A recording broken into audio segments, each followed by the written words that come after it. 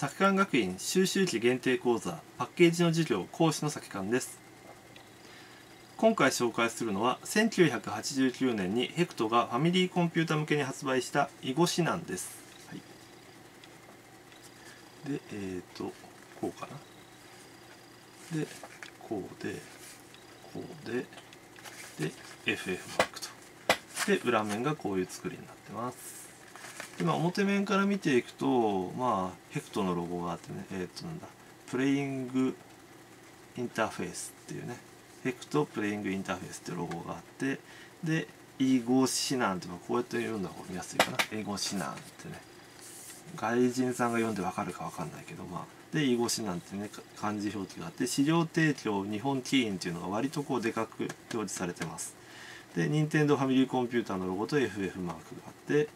でえっ、ー、とヘクト ID ってこれ HCTID はね製品コードだからヘクトの、まあ、ID っていう製品コードなのかなけど004っていうのは4番目のソフトなんですかね。うん、でまあ絵柄的には、まあ、下はなんかちょっと帯っぽくなってるんだけど上の方は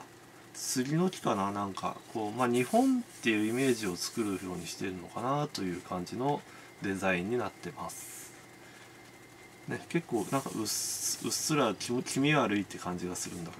ど囲碁やる人からするとなんだろう落ち着くのかな分かんないけど、はい、で裏面。囲碁指南まあねここら辺は表記はいいとしてで説明文があって画面写真が2点あって感じですかね、え歴史に残る名勝負。現代の棋聖戦名人戦本因坊戦それに置き後の模範対局からえりすぐりの63局を収録。この対局の観戦やプレイヤーの気力判定ができる画期的囲碁ソフトですってことで結構ねハードル上げてきてましたね。でなんかこの後の説明は画面写真についてる説明っぽいんですよね。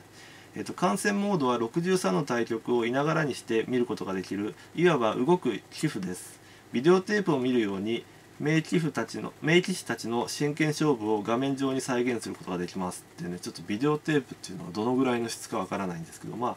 ね、あの対局してる人を見せるわけじゃなくて、まあ、盤面を見せるだけなんで、まあ、そこら辺はちょっとご勘弁をって感じでしょうね。で、え、っともう一個の画面の方が63局の各対局で次の一手を読んでください。その正解率によって気力を判定するのが判定モードプレイヤーの実力に合わせてレベルを選ぶことができます。ということでまあねあのなんだろう。多分囲碁やる人からするとすごいあのマニアックでいいゲームなのかなって気がします。でこのゲームからあのファミコンのなんかこうシリーズタイトルの多い中でもね有数の囲碁指南のシリーズが出てくるできてくるわけですね。以上作館でした。